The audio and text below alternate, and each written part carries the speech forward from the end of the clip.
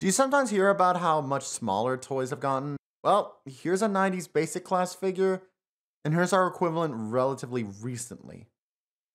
And I kind of like it.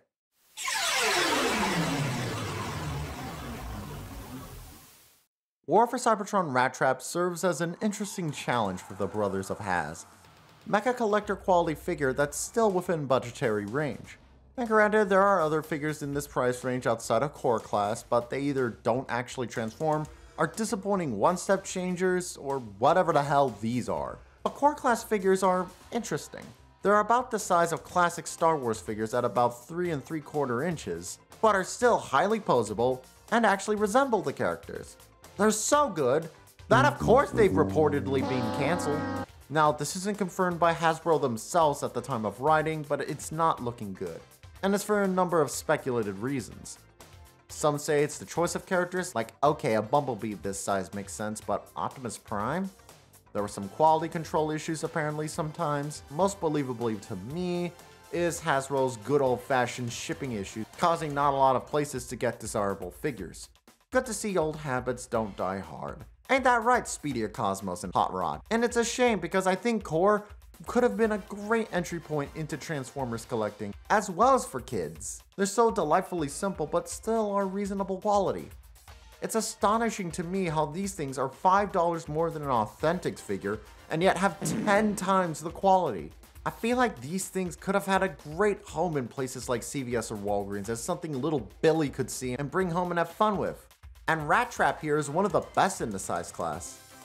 And it makes sense to make Rattrap this size because, well, he's a rat, a rodent, vermin. He's a small fella, even in the show.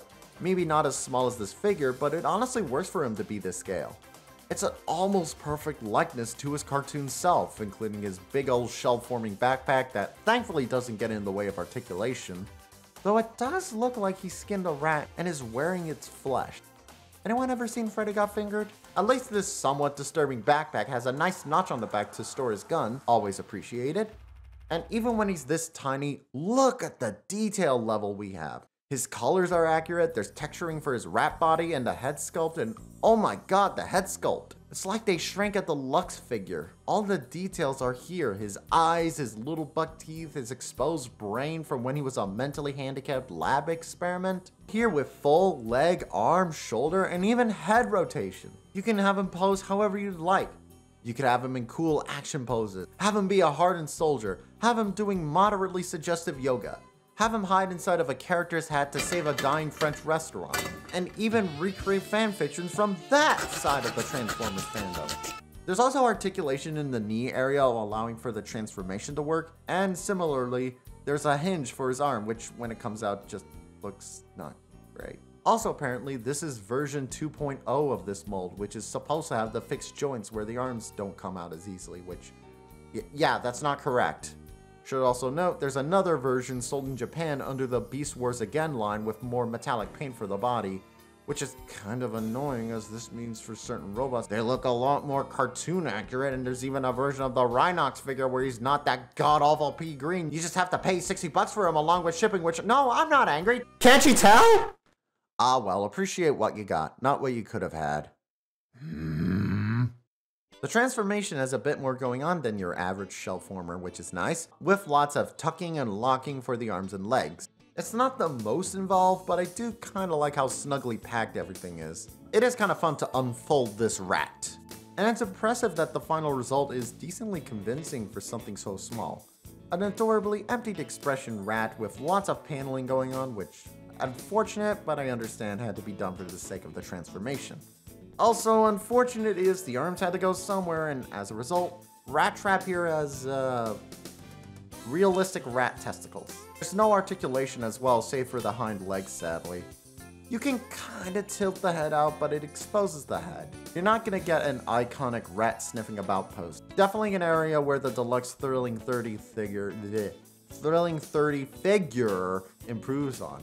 But keep in mind, that's a deluxe figure from years ago, and the fact that this is even comparable, I think, is really impressive. The fact for a budget figure we get this much transformation, this much personality, and this much value is really impressive. On setting out to make the best budget figure possible, it's a perfect 5 out of 5. But I go on an overall scale, so I'm giving him 4.5 cheese showers out of 5. I'm really sad Core is reportedly dying.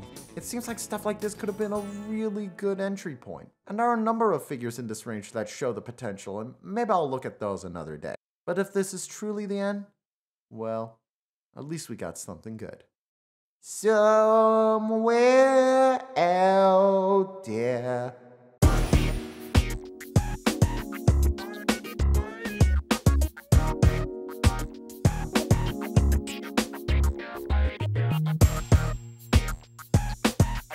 Calm down, guys. We, we'll we'll have a game of skeleton. I'm afraid of skeleton. but whatever. What skeleton?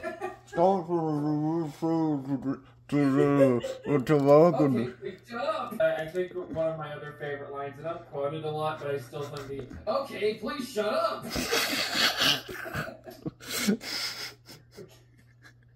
I'm trying to fucking transform this thing. I'm quoting it all day. Uh, it's like, oh, we're, we're about to get to the best one. You, I am All Star Nina BB-8. You are just Alexander Trevkia. Why you? You're so bad. You should play for Latvia. Go fuck yourself.